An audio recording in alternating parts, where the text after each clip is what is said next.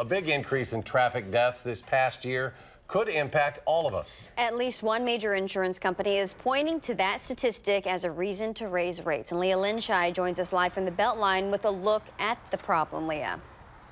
Hi, Eric.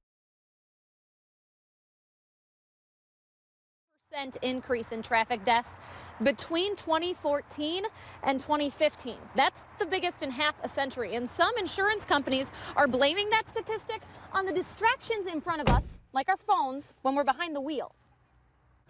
Thank you, everybody, for coming today. In a world of insurance, there are countless variables to learn. Loss frequency, how frequently they're seeing automobile accidents, the severity of those accidents, or risk management. Those are just a few. Madison College business instructor Martha Lester Mittenswy teaches to her class. But one insurance company is naming another.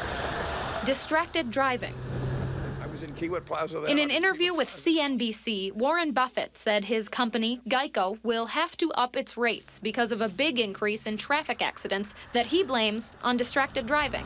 It is a big problem. A new survey by AAA says about 70% of drivers admit to talking on the phone while behind the wheel just in the past month. And about 42% admit to reading a text or email. Previous reports have pegged the number of deaths by distracted driving at 3,000 a year, though AAA says it's likely much higher. We do know that it, it is a significant uh, risk for those who are behind the wheel and it's a risk that more and more people are, are taking. Yes, it would definitely be the frequency and the severity of losses. And he's going to go on and give you a little bit more Martha says an increase in traffic accidents, if there's data to support it, is a valid reason for insurance companies to raise rates. So maybe the biggest lesson to be learned here is keep your eyes on the road.